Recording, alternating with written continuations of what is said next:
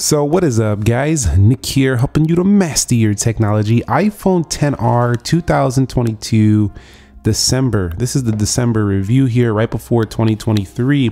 Let's go ahead and boot this thing up in three, two, go and see how long it does take to turn on.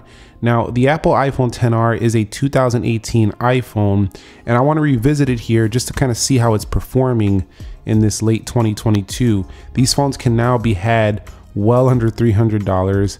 And if you're looking for maybe a backup iPhone or maybe something to try out iOS, you're an Android user a long time, you don't want to invest in the ecosystem just yet, this might be a solid option. So that took about 20 to 23 seconds to turn on. That's not too shabby for being the age that this iPhone is.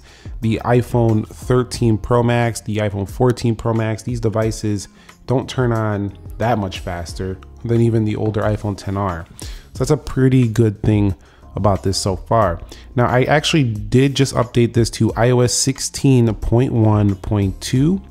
There is going to be more updates coming obviously 16.2 is on the way. The major you know features are probably coming to the newer iPhones but it's still nice that even four years later here you are still running the latest version of iOS. So let's talk about the body and the build really quickly. So the iPhone 10R was kind of that phone that really brought the colors back since the iPhone 5C days.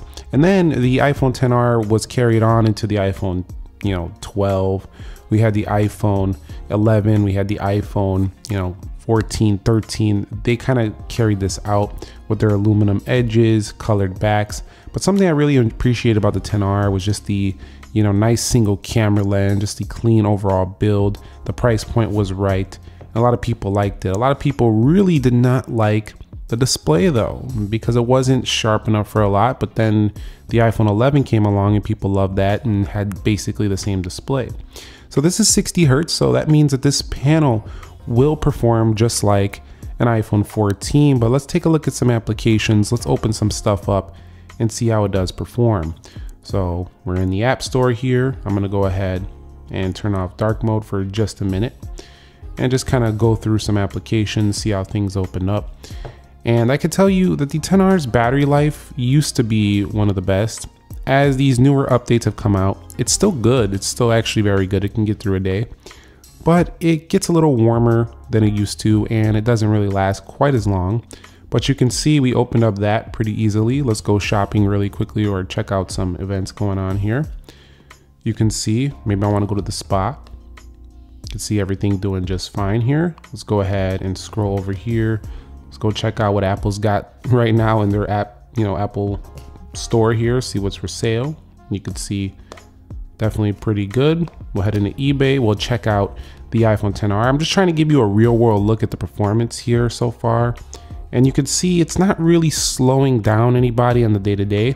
Check this out. You can get an iPhone 10R for 185 now. I mean, this probably blows away some Android phones at 180. I'm not gonna say all of them because some of them do have triple cameras and stuff, but you're not getting the latest version of iOS either. So yeah, 10Rs can be had ridiculously low right now. And considering these phones were $700 devices, I mean, it's probably a steal of a deal if you are just looking to have your first experience trying iOS out and you just want to try the latest software and you're not ready to fully commit to Apple just yet. Not saying this is the top recommendation. You still have only 4G on here, not the best reception strength. But I think you can see right here with this Apple A12, the A12 is still doing just fine here in 2022. As a matter of fact, it's doing more than fine. I would say it performs well. Let's go over to Geekbench 5. You can see Apple A12 Bionic clocked in at 2.49 gigahertz with 3 gigabytes of RAM. Now, going through applications, you can see there was a little delay in my December 2022 review on the iPhone 10. But here on the 10R, having slightly better CPU definitely means that we do have less of a problem there. Now, when you are going through applications on here, you might actually start to reload things on this device. So do keep in mind that this phone with its three gigabytes of RAM, most iPhones, if you have a lot open at that RAM, will reload. Now in terms of display, I want to touch on that a little bit as well.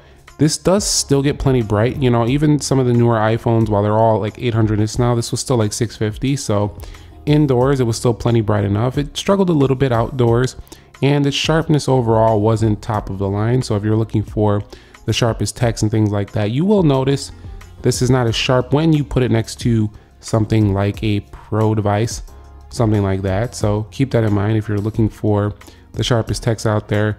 It's not that, but if you keep it a distance from your face, you probably wouldn't notice. So that's okay. Now the notch definitely is the original notch from the iPhone 10.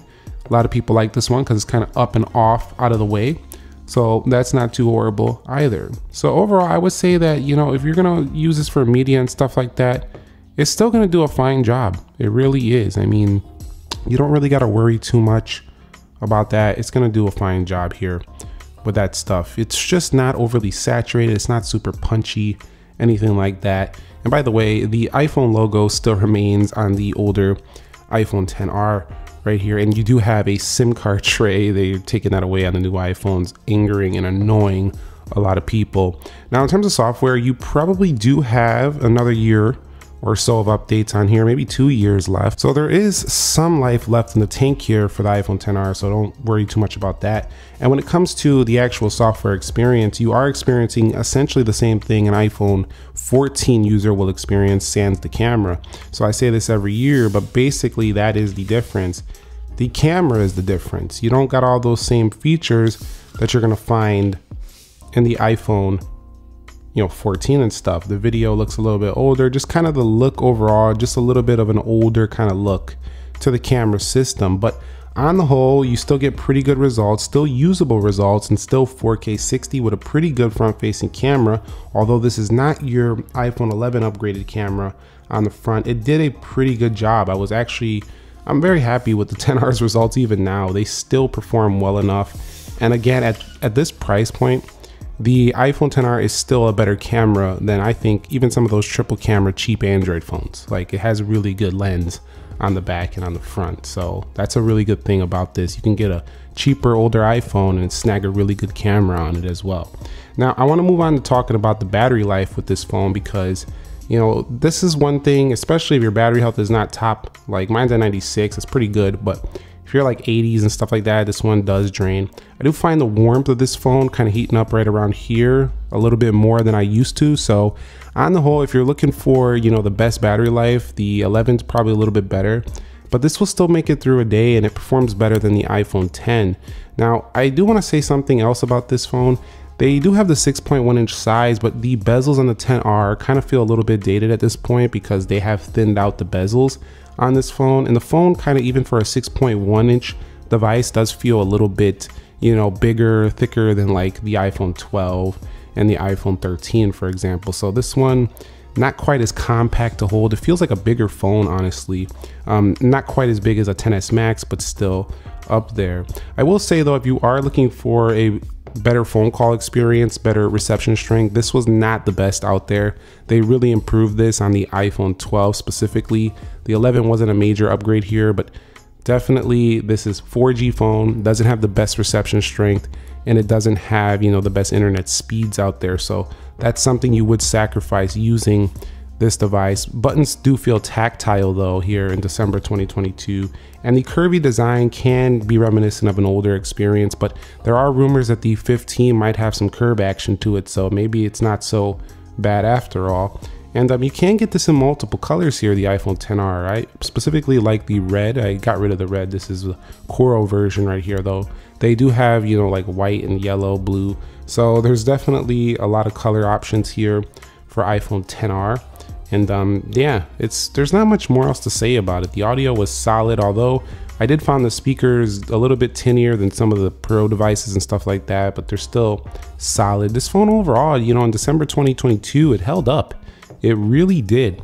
It was a solid, I mean, it's a solid piece of machinery right here. You can just see thick aluminum on the edges. We kind of knew the 10R was going to be a long lasting good device here. And surprisingly, if this was the only iPhone I had to use today, it's still very usable. That's pretty cool to say considering this came out in 2018. And what I recommended, yes, if you're looking for an older iPhone on a deal and you just want to try out iOS, you want to try out the iPhone experience and you want something bigger like the 14. I mean, you could snag one of these for like 180. Like, come on. I mean, you're getting new iPhones at eight, nine hundred thousand dollars. I mean, this is like a 70% discount for basically 70% of what the experience of a newer one would be. So 10R, man, it did well. It's solid. The 11 even better, but it's okay. It's not that bad. There is some stutters here and there, but it's it's pretty overall. It's super usable still here in 2022, and you've seen that throughout this video. Thumbs up if you enjoyed it, subscribe if you haven't already. Let me know if you're picking up a 10R, if you held on to your 10R specifically since it launched and you're ready to upgrade, or you're just gonna hold on to the 15 series models. Let me know how it's going for you. Thank you very much for watching. Nick here. Be sure to be well. I'll catch you all in the next episode and peace.